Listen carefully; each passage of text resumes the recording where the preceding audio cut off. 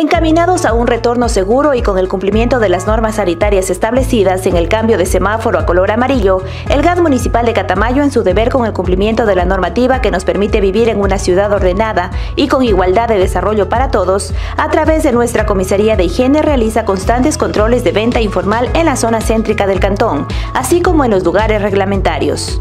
Esto con el objetivo de controlar las aglomeraciones y proliferación del virus que nos está afectando en la actualidad, recordando el precepto básico de respeto al trabajo de los catamayenses. Nos permitimos recordar que en Catamayo está prohibido el comercio informal, en los lugares no establecidos. El incumplimiento de tales disposiciones obligará a que se proceda a la retención de la mercadería y la emisión de la sanción respectiva. Evitemos ser sancionados, respetemos las normas básicas de una convivencia sana. El camino a la reactivación económica es y debe ser en igualdad de condiciones para todos los ciudadanos. Recordemos que protegernos es deber y responsabilidad de todos.